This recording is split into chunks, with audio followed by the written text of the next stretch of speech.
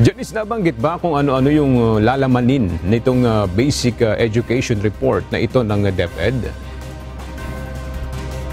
Aga, ilalahad ngayong araw ng Department of Education sa pangunguna ni Vice President at Education Secretary Sara Duterte ang roadmap ng kanyang administrasyon para sa basic education sa taong 2023. Kasama na rito ang ilan sa mga hamon ng, sa basic education sa mga nakalipas na taon hanggang sa kasalukuyan gaya ng problema sa kakulangan ng classrooms, educational materials at guro.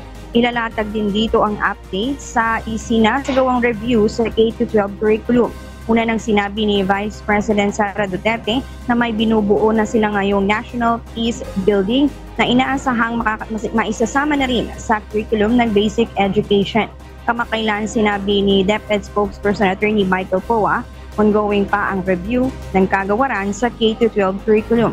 Kabilang din sa inaisahang matatalakay ang mga plano at programa na tutugon sa learning gap ng mga estudyante sa gagawing Learning Poverty Report mamaya.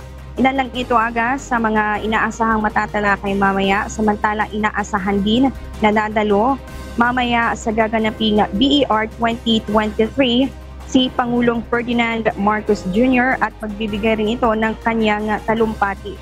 Yan muna ang latest. Balik sa iyo aga. Maraming salamat, Janice Inhente.